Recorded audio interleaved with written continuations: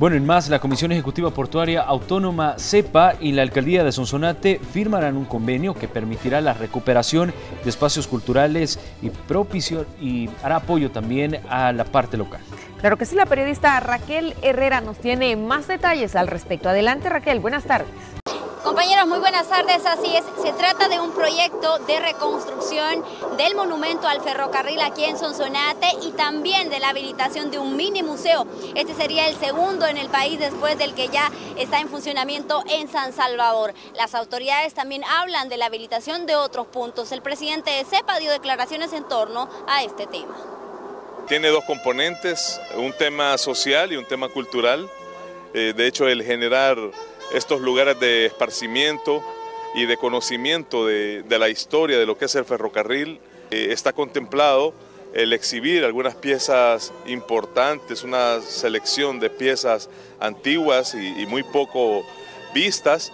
Eh, luego también va a haber una exhibición de, de fotos de un vagón, la restauración de la locomotora y, del vagón específicamente y un área que va a simular un taller ferroviario también. Bueno, dentro de lo que contempla este proyecto también está convertir esta zona en una plaza ferroviaria que no solamente contribuya al rescate de monumentos culturales, sino también al desarrollo de la economía local.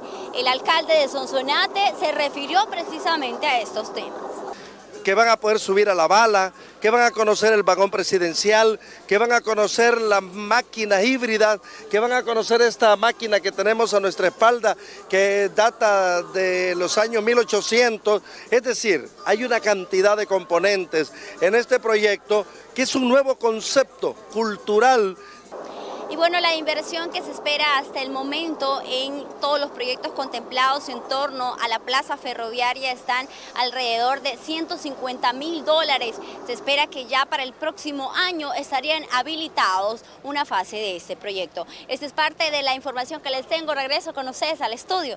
Buenas tardes.